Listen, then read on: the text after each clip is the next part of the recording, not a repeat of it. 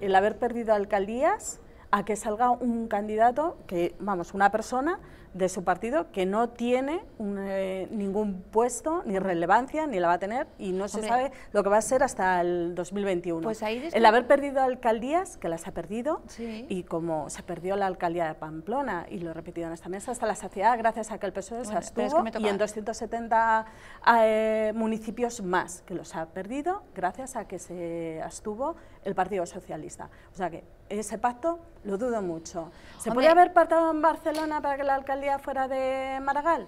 Pues parece ser que no.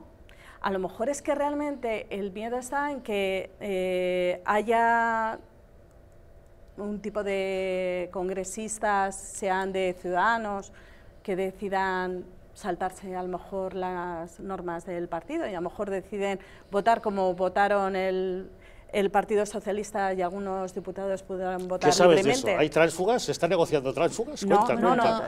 Eh, ¿Tenéis alguno? ¿Tenéis a tres ya contratados? Lo digo por el miedo que hay también a que la Comunidad de Madrid a presentar una candidatura de Ángel Gabilondo y, y, no, no dejan presentar a que se pueda presentar como candidato a la Comunidad de Madrid. ¿Cómo que no y a lo mejor es por miedo de que pueda presentar. Se puede, pero